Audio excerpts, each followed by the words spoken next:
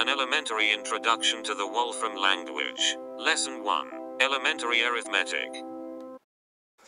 Welcome to Mathematica, one of the most incredible programming languages in existence. In these videos, I will be teaching you how to use this powerful tool.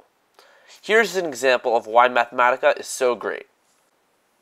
So now I'm going to type prime of 7, which will give us the nth prime, or in this case, the 7th prime.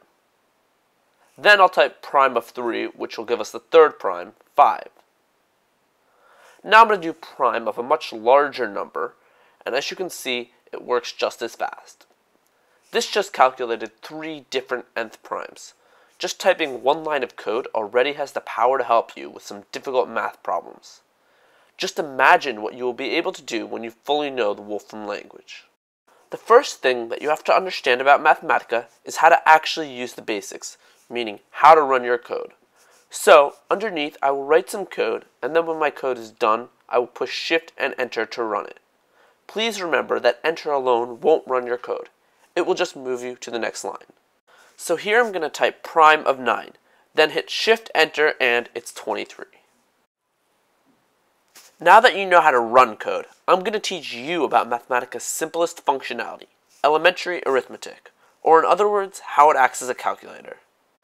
Now we're going to go back to our coding cells. I'm going to input 1 plus 1 and hit shift enter and it's 2.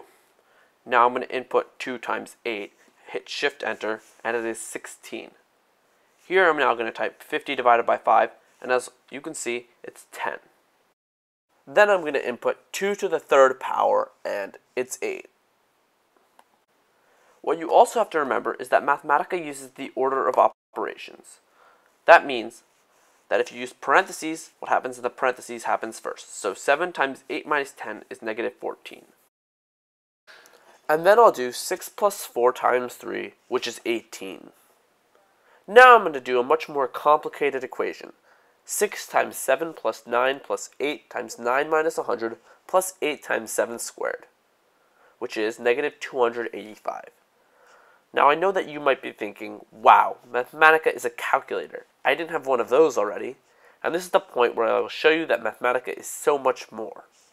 So here I'm going to do 2015 to the 2015th power, hit shift and enter, and whoa, this is a massive number. Does your calculator ever return a 6,659 digit number to you? Just to show you how massive that number is, I will take the last 24 digits of it.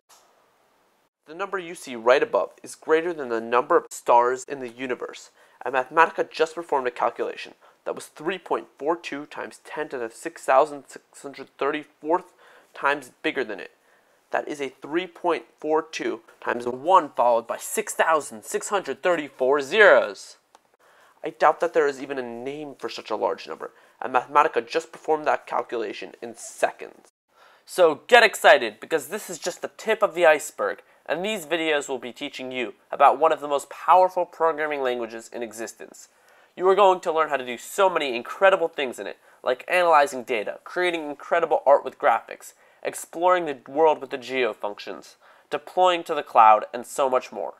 Just remember to keep practicing with these simple mathematical operations because they are the basis for everything that you will be learning from here on out.